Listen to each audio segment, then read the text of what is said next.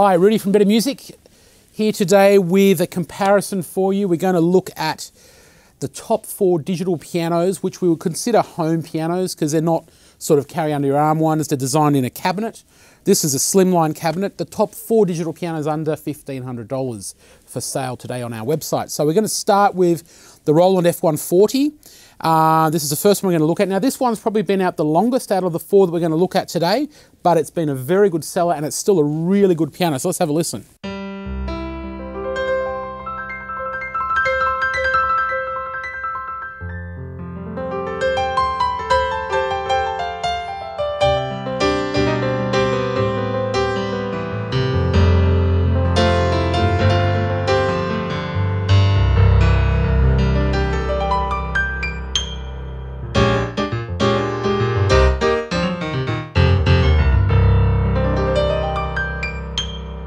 The main piano sound. Look, the touch is really good. It's a, a graded hammer mechanism. It uses the fake ivory finish, which is nice and grippy. Gives you a little off-white colour, but it's really nice under your fingers.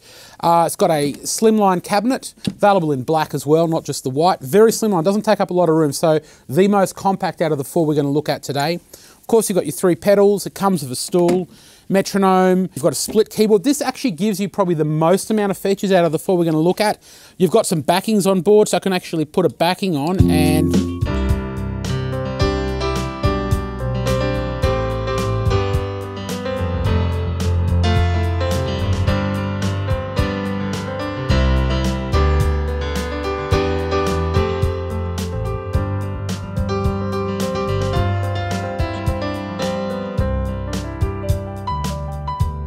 I could have done an ending, it's got intros and endings. Another cool thing, of course, it's got Bluetooth uh, MIDI and you can connect to Piano Partner 2, which is Roland's really cool app, which allows you to control the piano, allows you to do musical games for the kids. Uh, all the music in the piano will come up on the notation. Another cool feature is it's got mini jack line in, so you can run audio from a device back in. It's also got a device port on board, so you can record MIDI data to the device port, to the USB stick, you can't record audio, but you can play back audio, which is unique in this class. None of the others are able to do that. So all in all, yes, it's the, uh, the veteran amongst the four we're looking at today, but still a really awesome piano. And if you want compactness, then this is the most compact one. So that's it, F140, whole host of other good sounds. Let's move on to number two. Okay, so now second up, we're gonna go with the Yamaha YDP 143. So this is at a cabinet model piano as well. This is the satin black finish. So this is a more traditional style uh, cabinet than the F140 in the sense it's a little bit more deep and it has a traditional uh, slide down lid. So really nice looking piano. This is a very good seller. Uh, it's a Yamaha, it's a good brand as they all are. Roland, Yamaha, Casio, uh, Kawai are all big name players in the game and that's why we're looking at the models from these companies today. So let's have a listen on to the piano sound.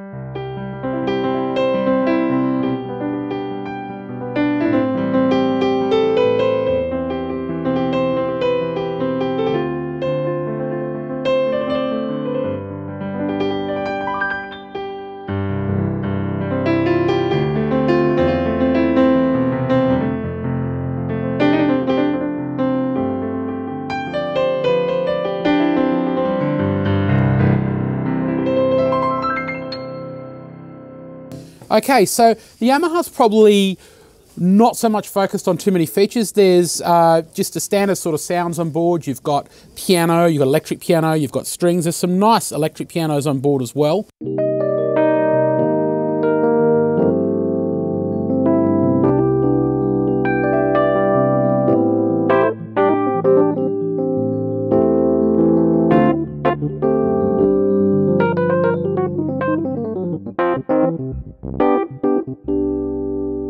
So, few simple voices. You've got 192 note polyphony on this one.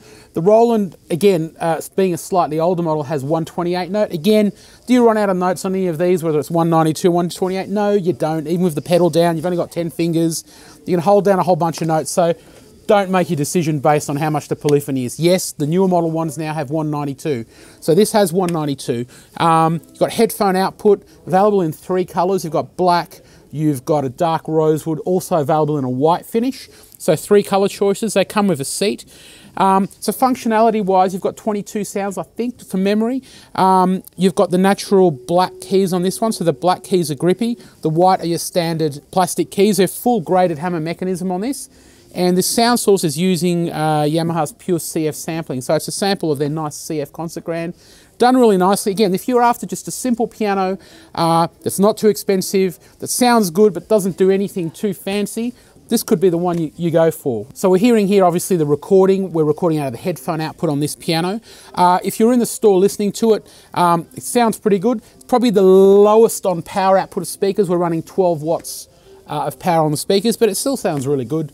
And certainly once you've got it in a lounge room or a bedroom or wherever you're using it at home, it's ample. Okay. All right, now we have the Casio AP270, which is relatively new uh, and one of the current contenders. This is the oak tone finish. It's also available in satin black and satin white. Traditional cabinet design, roll down lid, similar to the YDP 143. Also 192 note polyphony. Simulated uh, ivory texture on the white keys and the black keys. Let's have a listen to the piano sound.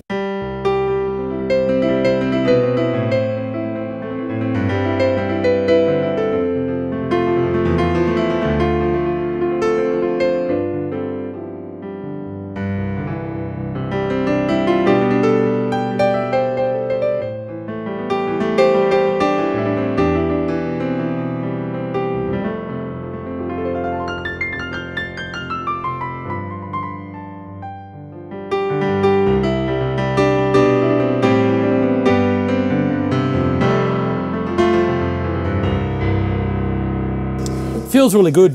One of the features Casio talk about with this is their tri-sensor technology on the action. That's one of Casio's design things. Does it feel quick and fast? Yes, it does. Uh, do the others all have tri-sensor? No, look, it's one of the features that digital piano manufacturers come up with, and in this particular instance, it works really well. Can I play fast on the other two we've played so far? Yes, I can. They all feel really good, to be honest. So we're just going to try and nut out some differences so you can decide which one you like best. Let's go back. So we have got USB on this one. No device port. We have USB, which is class compliant MIDI, so you can connect to iOS devices uh, with it. There is a Piano Play Chordana app available for it as well that uh, uses scoring and you can learn to play songs with it, which is really quite cool. Another cool feature of the Casio is you've got different um, reverb settings and different uh, concert hall settings that you can have the piano go through. And you've got Concert Player, which there's a whole bunch of classical recordings in there of uh, very well-known symphonic orchestras that you can play along with. So all in all, a really good piano, nicely laid out, um, and uh, sounds really good.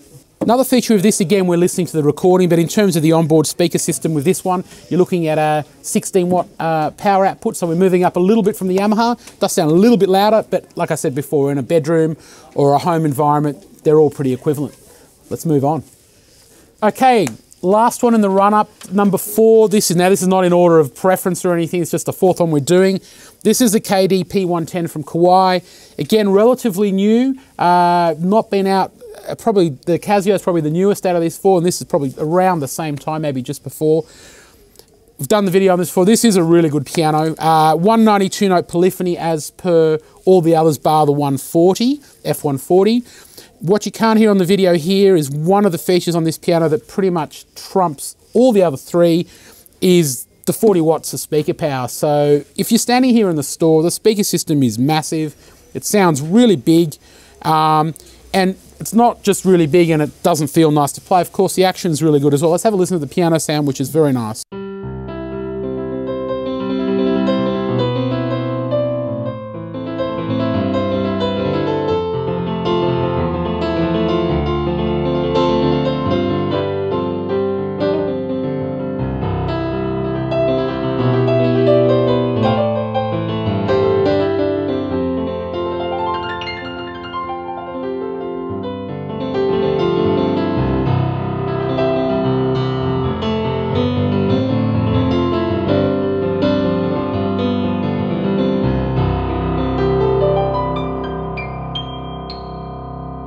Okay, so yeah, 40 watts of sound. Again, you can't hear it on the video, but if you're in the store, very, very good.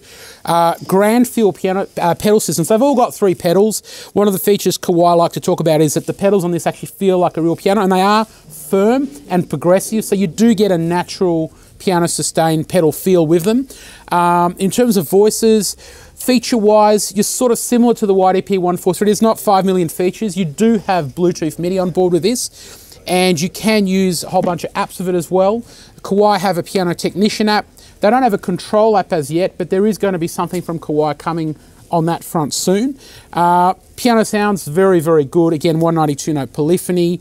Um, beautiful piano. Okay, so let's run through this again. So we started with the Roland F140. Again, probably the oldest in the comparison, but a very big selling piano and still very, very good.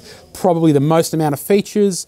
Uh, control app Piano Partner 2, which controls it all. A little bit down on the polyphony stakes, 128 versus 192 on all the others, but like I said, that's you know, not really a, a, deal breaker. It still sounds fantastic. Got the nice um, ivory feel on the 140. So features are great. If you want a piano with lots of features, the F140 should definitely be on your shopping list. And also particularly if you want that compactness. It is the only one in the comparison which is a really compact design. We then jump to the YDP 143. Uh, which has a little bit less speaker output, so it's only 16 watts, uh, but still sounds really, really good. Um, nice piano feel on the Yamaha. Um, simple features, not too many features, but if you're just after something that just plays piano, does it well, and you're not too fussed by what it does, the 143 could be on your shopping list. We then went to the AP270 from Casio, which is a brand new model. Um, and again, great feel. You've got the simulated ebony and ivory keys, 192 note polyphony, traditional cabinet design, different features, uh, sorry, different colors is what I meant. And it does the job really, really well. So which one do you pick?